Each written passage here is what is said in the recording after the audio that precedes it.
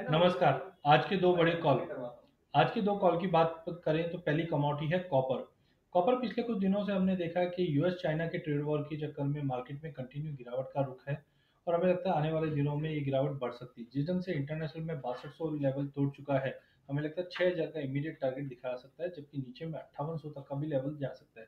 उसी के तहत हमें लगता है कि फोर थर्टी का काफ़ी अच्छा इंपॉर्टेंट सपोर्ट है। यहाँ पे हमें कॉपर बेचना चाहिए। स्टॉप लॉस 434 का रहेगा टारगेट 426 से 425 तक का लेवल मिल जाएगा। बट इसमें रुपए को ज़रूर ध्यान रखिए कीजिए, जिस ढंग से रुपए में गिरावट है वो कहीं ना कहीं थोड़ा बहुत सपोर्ट ज़रूर देगा बट ओवरऑल कॉपर को बेच के चलना चाहिए। दूसरी कमोडिटी है कैस्टर कैस्टर में हमने पिछले दिनों में काफ़ी ज़्यादा उतार चढ़ाव देखा, हमने बासठ सौ छप्पन तक का भी लेवल आते हुए देखा, अब मार्केट में थोड़ा सपोर्ट दिखाई दे रहा है।